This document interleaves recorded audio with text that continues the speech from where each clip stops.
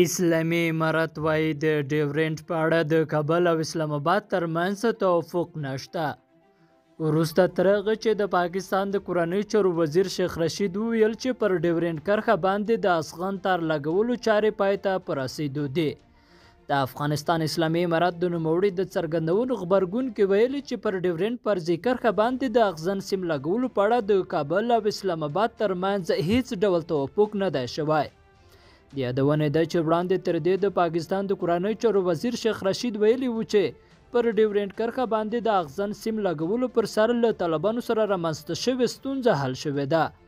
او د اسلامي امارت له دولت سره به د دې پروژې د بشپړولو په موخه خپل کار ته دوام ورکړي په یو بل تازه خبر کې بیا ورې چې روسیا وایي افغانستان کې د ترهګریزو ډلو فعالیتونو ته اندېښمن یو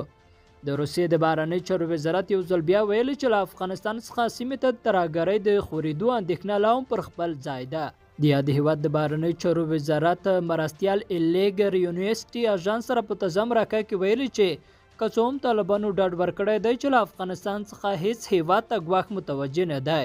خو ټینګار کوي چې له دې سره سره هم په دغه هیواد کې د ترهګرو ډلو فعالیتونه د اندېښنې وړ دي د یادونې ده چې په دې وروستیو کې روسیې په تاجکستان